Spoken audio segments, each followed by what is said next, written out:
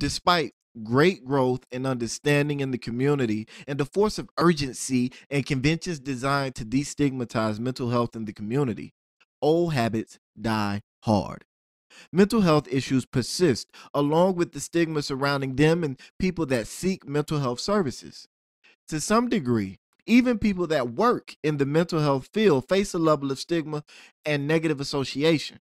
Things are changing, but that change seems to be moving at a snail's pace, especially when compared to what is needed in the community. This week, on Lessons from the Screen, we will not be taking the traditional angle with regards to mental health, that angle being focused on all the ailments and potential services. We will be focusing on what mental health actually means. What does it mean to be mentally healthy?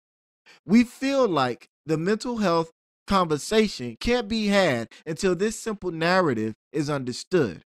In this episode, we will be talking about and answering a simple question What is mental health?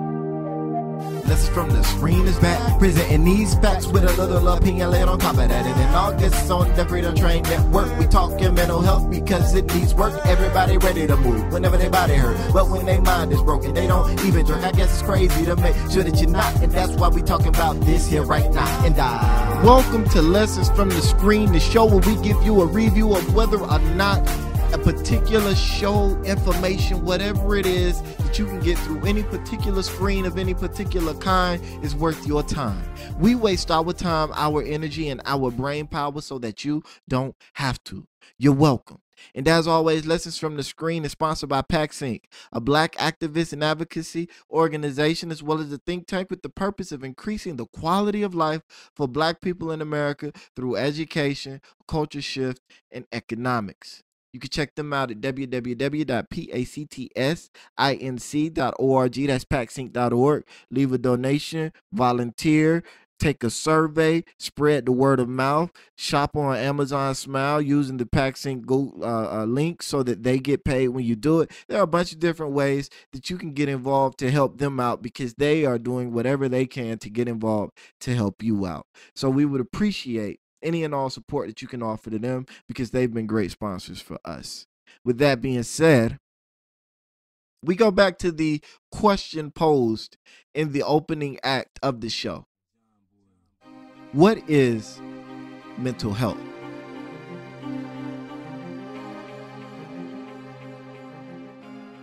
So, I had come up with this idea and I was going to do all this and do all that and say all this and say all that and then I decided to do some research into everything that I was going to say, do and blah blah blah.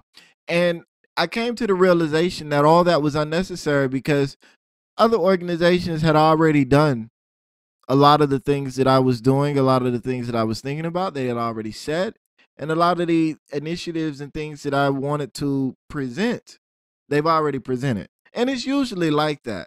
It's usually if you search hard enough, you can find someone that's already come up with your idea, your idea, and is farther along in the process than you are.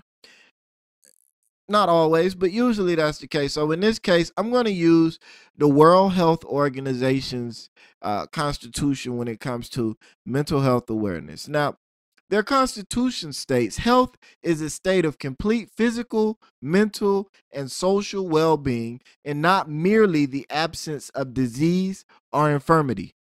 Now, an important distinction is made here because health is not the absence of illness. Just because you're not sick doesn't mean that you're healthy, it just means that you're not sick. So, the same thing applies when it comes to mental health. Just because you don't have a mental health issue, illness, disorder that's been diagnosed doesn't mean that your mental health is okay.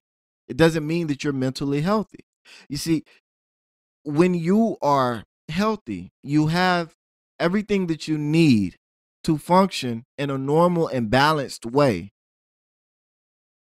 now, the more unbalanced things become, the more we begin to see signs and symptoms that would illustrate that you are, in fact, ill. And in fact, illness is nothing more than when the sick, the system becomes extremely imbalanced and those imbalances begin to manifest themselves physically or mentally in such a way that they can be spotted and identified by other people. But just because you aren't at the point where those things are manifesting themselves doesn't mean that you're not sick.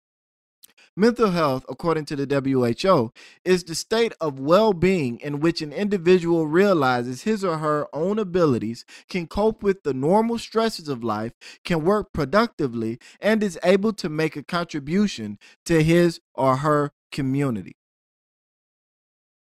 It goes on to say mental health is fundamental to our collective and individual abilities as humans to think, emote, interact with each other, earn a living, and enjoy life. On this basis, the promotion, protection, and restoration of mental health can be regarded as a vital concern of individuals, communities, and societies throughout the world. Now, again, I go back to that second section that I read. Mental health is a state of well being in which an individual realizes his or her own abilities, can cope with the normal stresses of life, can work productively, and is able to make a contribution to his or her community. Now, if we hold those four things up, realizes his or her own abilities, can cope with the normal stresses of life, can work productively, and able to make contributions to his or her own community.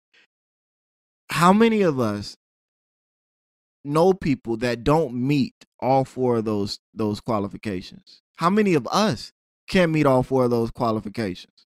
How many of us realize our own abilities? How many of us don't? How many of us sell ourselves short? How many of us, we can all easily identify somebody that's overestimating themselves, but how do you distinguish humbleness from low self esteem? How many of us can actually do that? How many of us can cope with the normal stresses of life? How many of us, and by coping, we don't mean finding a negative outlet for your negative energies, emotions, and stresses. We mean finding a healthy way to deal with what's going on in your life so that you don't explode or implode. How many of us have an unhealthy relationship to social media?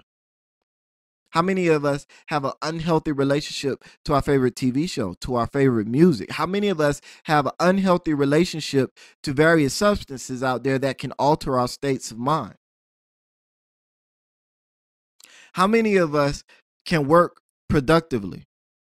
I don't you don't even have to add anything else to that. You know, without we don't we don't even have to add in without the use of Adderall or we don't even have to add in without the use of of other self-medications and other ways of getting yourself in a state that's different from your normal state so that you can work productively. How many of us can just wake up or even if you've already been awoke, how many of us can just sit down and focus and work? And how many of us are able to contribute to our communities? How many of us do contribute? How many of us see ourselves as part of a community? You see, this isn't just about sickness and illness. This is about you being a normal, healthy, about not normal, because there's no such thing as normal, but in, in America, normal is mentally fucked up. But this is about being a balanced, emotionally stable individual that recognizes themselves, recognizes themselves as a part of a community, and sees that they are needed in order to continue that community and the society and the civilization in which they live. And especially in the black community, those four components are definitely not being met. We can have all the discussions we need about why they aren't being met. But the fact remains that for the vast majority of us, we struggle with those components. Determinants of mental health. So this this in this document that I'm reading is right off of the World Health Organization's website. Multiple social, Psychological and biological factors determine the level of mental health of a person at any point in time. For example, violence and persistent socioeconomic pressures are recognized risks to mental health. the clearest evidence is associated with sexual violence. Poor mental health is also associated with rapid social change, stressful work conditions, gender discrimination, social exclusion, unhealthy lifestyle, physical ill health, and human rights violations. They are specific psychological and personality factors that make people vulnerable to mental health problems. Biological risks include genetic factors. Now, in reading that, again, we go back to that second section. Poor mental health is also associated with rapid social change. In Black America, over the last hundred years, we've gone from being slaves to being indentured servitude to being uh, being put in, in, in peonage bondage to, to the prison industrial complex to the civil rights era to superficial change to now uh, to a quote unquote, and I never believed this was the case, but a quote unquote post racial society to now we're at the point where we are recognizing all of that was a lie as we are being shown more and more and more that what's been happening to us in our communities, things that we thought were isolated incidences, are actually real occurrences that happen pretty regularly all across the nation. And I know many of us will say, and many of us have known that this was always the state of America, there are great many people who are experiencing a racial wake up. So when we come to rapid social change, that's five or six different states of social being in the last hundred years. Stressful work conditions. Don't even don't even need to dig into that. Gender discrimination. Our black women suffer gender discrimination just as bad, if not worse. No, not if not worse. They suffer the worst form of gender discrimination here in America because not only are they women, but they're black women. So they have to deal with gender and racial issues. Social exclusion. I don't have to go any further. Unhealthy lifestyle. I don't really have to go any further. Physical ill health. We know that we get sick and human rights violations. All of those things we as a community deal with on a consistent and continuous basis. We as a community live in a state of poor mental health. Our culture has normalized this existence of poor mental health because the, your culture has to normalize your your uh, uh, your average state, if you will, in order for you to be able to survive within the world you live in. If your culture doesn't normalize negative behavior and all you see is negative behavior, you will destroy yourself.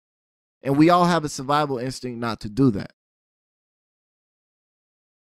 So, in a lot of cases, we have begun to embrace a lot of negative qualities, a lot of bad traits, traits that we've learned, traits that we've developed in order to cope with society, even in terms of the bi- biological risk included when we're, when they're talking about genetic factors, we get back into this discussion of epigenetics and how the different things that you've experienced in your environment shape your genetic code. And those changes made to your genetic code get passed down to your children. So that if you experience severe trauma at any point in your life before you have kids, on a on a on a genetic level, your DNA is changed, and that change is passed on to your child. So when we begin to talk about genetic curses, when we begin to talk about g- generational curses, generational memory, genetic memory, all that stuff, all of that is real and is encompassed in the science of epigenetics. So again, when we're talking about mental health, we're talking about your ability to recognize yourself, to cope with normal stresses, to work productively, and to make a contribution to your community. When we're talking about the determinants of mental health, we're talking about poor mental health being associated with rapid social change, stressful work conditions, gender discrimination, social exclusion, unhealthy lifestyle, physically ill health, and human rights violations. So, in in the, in the last section of this document that I'm going to get into, we're going to go ahead and read it now. Mental health promotion and protection it says mental health promotion involves actions that improve psychological well-being. This may involve creating an environment that supports mental health, an environment that respects and protects basic civil, political, socioeconomic, and cultural rights is a fundamental is fundamental to mental health. Without the security and freedom provided by these rights, it is difficult to maintain a high level of mental health. National mental health policy should be concerned both with mental disorders and with broader issues that promote mental health. Mental health promotion should be mainstreamed into government and non governmental policies and programs, in addition to the health sector. It is essential to involve the education, labor, justice, transport, environment, housing, and welfare sectors. Specific ways to promote mental health include early childhood interventions support to children, socioeconomic empowerment of women, social support for elderly populations, programs targeted targeted at vulnerable people, including minorities, indigenous peoples, migrants, and people affected by conflicts and disasters, mental health promotional activities in schools, mental health interventions at work, housing policies, violence prevention programs, community development programs, poverty reduction and social protection for the poor, anti-discrimination laws and campaigns, promotion of the rights, opportunities, and care of individuals with mental mental disorders. Now, in this section, I'm going to go back again to the second thing I read.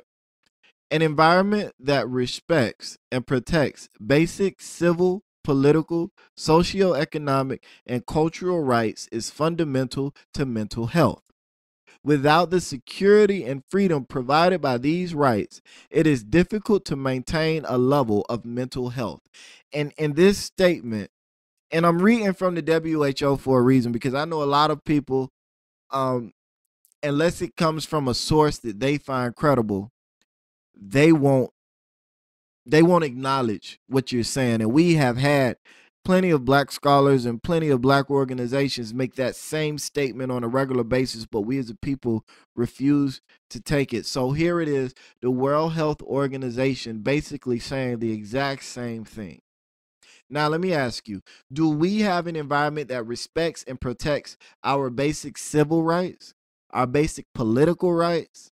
I mean, when we get into civil rights, we're still seeing court systems that that violate us and, and people that get off for violating us and institutions that get off for violating us because we're black we have when you get into political rights and protections we have a president as well as Con- National Congress, and many of us have uh, state legislators that are willing and able and desiring to chip away at our political rights by doing what they can to eat away at our right to vote. When you get into socioeconomic rights, we have no socioeconomic rights. When you get into cultural rights, again, we're talking about a society where uh, it was it was all the way up until this year or last year illegal for black women to wear their nat- natural hairstyles in the military.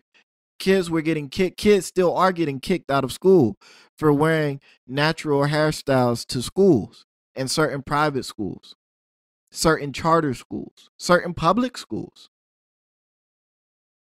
So, in what world can we say that an environment exists that protects our basic rights. And this is why our culture has had to shift in such a way as to normalize a lot of our negative practices, a lot of our negative ideologies, and a lot of our negative viewpoints in order for us to survive. I tell people all the time our greatest ability, our greatest superpower, if you want to say black people are superheroes, our greatest superpower is our ability to adapt. Our ability to adapt and be flexible to the world around us, the environment that we live in, and the situations that we find ourselves in. And it's in those abilities to that that great ability to adapt that we have begun and we have done a really really good job of adapting to systemic white supremacy. And that has created in it a group of people who have become blind to the world around them. That is developed within it a group of people who have found it necessary for survival purposes to assist in the negative treatment, the disparaging treatment of their own people. And we can't blame them for that. That adaptation was made so that we could survive. Some of us have had the ability or had the the the wonderful the wonderful opportunity to be exposed to certain information and certain people that have changed us.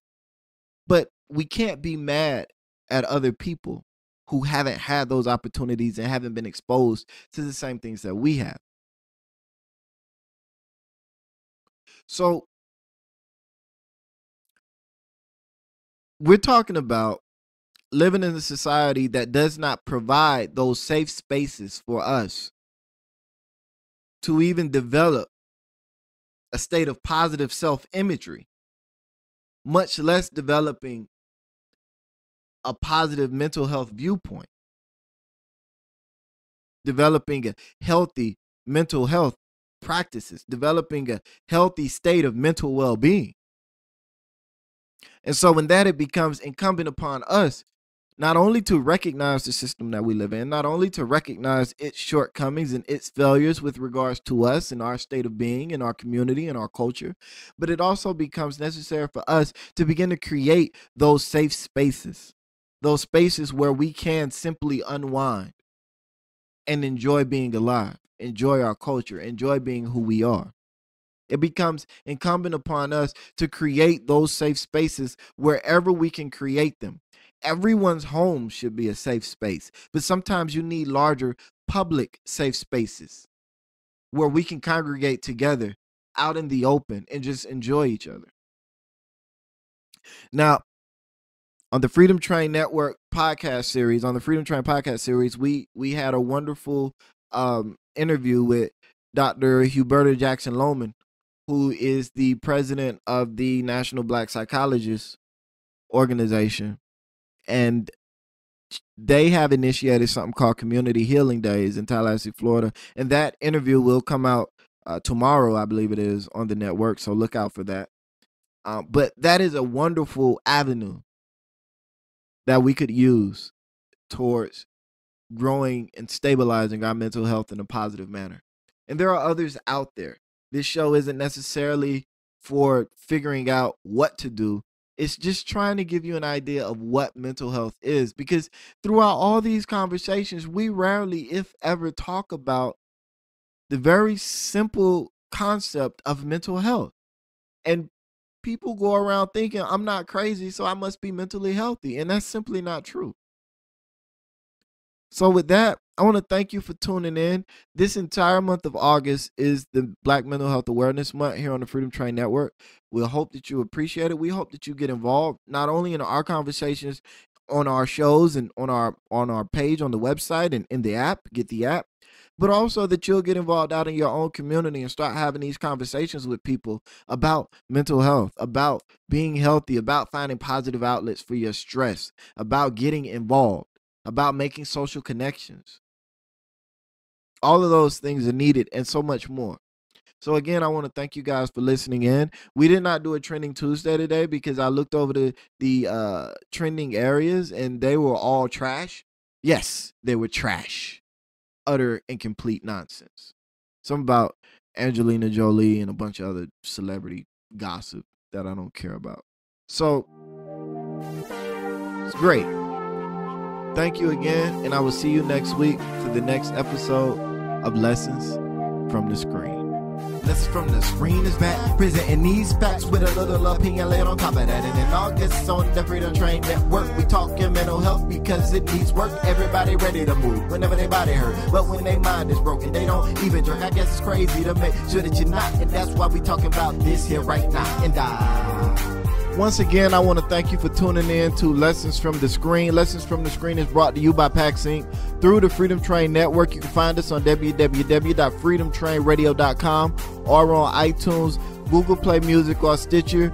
Be sure to head to one of those places and leave us a review, and then be sure to head back to the website to let us know what you think about the show and communicate with us.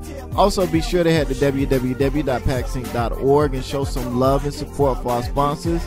PAX Inc is doing big things in the community and trying to do more, always trying to do more. So be sure to head to the website. That's www.paxinc.org. Donate, volunteer, become a member, talk about it, whatever they can use your support. And once again, they are doing great things in the community.